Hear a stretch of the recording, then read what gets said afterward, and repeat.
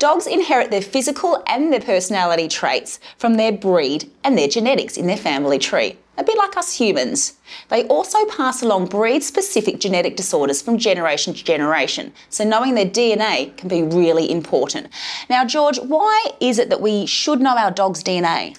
So by knowing or understanding your dog's DNA, you get a better insight into the breed or breeds. Mm-hmm. And by understanding the breeds, we have a certain temperament, or what we like to say as humans, the personality behind that particular breed. It's important because if you've got an animal and you want to, to suit your lifestyle, understanding the temperament and mm. the char- characteristics behind its temperament will assist you in how you manage that animal. When you look at the data, a lot of dogs will end up in pounds mm. or rescue because they don't suit your environment. That you can't match them up to your lifestyle.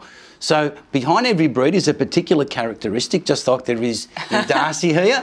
and we're able to sort of manage it, whether it needs, whether it's a couch potato, mm-hmm. whether it likes to hound and sleep a lot, whether it likes to retrieve a ball. They're all important things when it comes to how you look after your particular animal. And they can also, like the genetics and the breed, also play a big role in the behaviour of our dog too, don't they? Correct. So around about 80% to 90% is genetic, so mm. that behaviour is what is in that breed, and the rest is probably caused by environmental factors. And that's what we as trainers really tap into because we've got that little window of opportunity.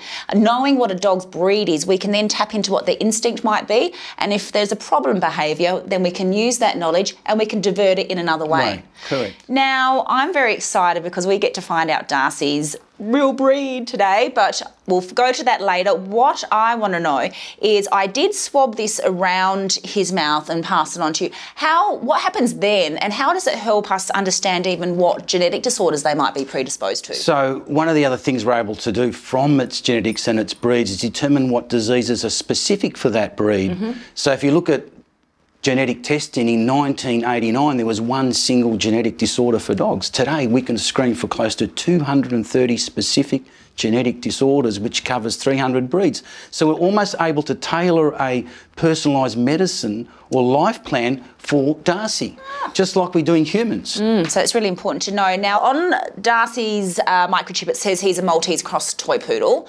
Uh, I've doubted that along the way because he just seems to have such, he does have a lot of terrier tendencies. A fine example is what he does with the ball here. so um, you're going to show us and we're going to find out. So the curiosity factor, you thought maybe Maltese? Yeah, poodle. look, I, I, I kind of wasn't sure about the Maltese. Toy poodle, yeah, he's got the smarts of a toy poodle, definitely. Um, the way he runs, I thought maybe a bit of Italian greyhound. Um, some of his mates on Instagram that look like him are Chihuahua mixes. So I reckon there could be a bit of that in there.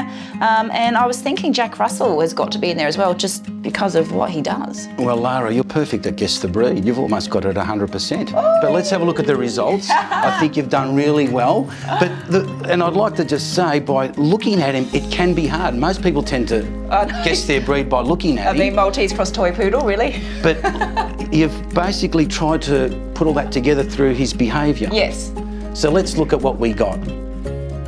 Darcy is in fact a grandparent level Maltese. Oh. Grandparent level poodle. Ah, the smarts, yes, very highly intelligent. Great grandparent level of a whippet. Ah, so grey Italian greyhound whippet. Yeah, yeah. and there's chihuahua. the Chihuahua. Yes, there's the Chihuahua, the mighty Chihuahua. And then he had some unknown, which was the Terrier. Okay. So yes, no, Jack he's, yeah, no, maybe. more that Terrier in there. Yes. So you know, you've done quite well. I'll give you a nine oh, out of ten. There we go. Well, that just goes to show that Darcy's behaviour is true to his genetics. Great, so now this really does help me understand why he does what he does, does. why he runs so fast, why he destroys balls, um, and just why he's just so, so smart.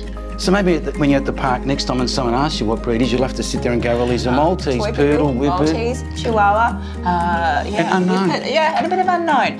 What I want to know, so what's this one? this looks a bit like Darcy. He's a little friendly little dog we have him. We stick by the window sometimes. Breed unknown. Very cute. Well, thank you for that. That is really great to know. Look, for $120, that is money well spent. So if you'd like to order a DNA kit and find out more about your dog, visit the GumiPets.com website or go onto your Petstock store. Thanks, George. Thank you, Lara. Yay, how exciting, Das. Yay.